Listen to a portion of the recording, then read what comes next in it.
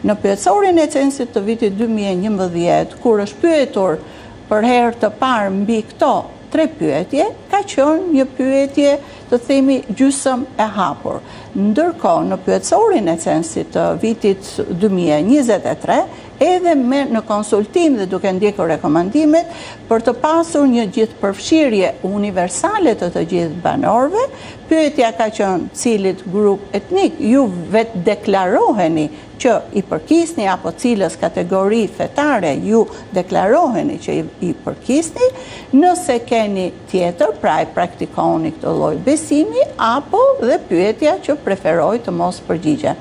Pra, i përgjigjuri duhet t'i përgjigjej detyrimisht njërës prej këtyre, sikurse kemi përqindje të përgjigjura nga secila prej pyetjet e hartuara në pyetësor. Me qenë se e përmendët etnitë, prej një vitit të paktën, duket se ne jemi në një konflikt të vazhdueshëm me Greqinë për përfaqësimin e pakicave kombëtare në Himarë.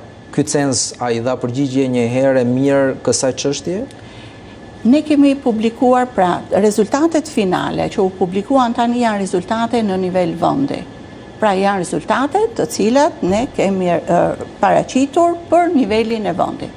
Pra nuk keni ndarë në. Në botimet në vijim, në muajin tetor, ne do të vijojmë me publikimin e rezultateve në nivel qarku apo në nivel bashkie.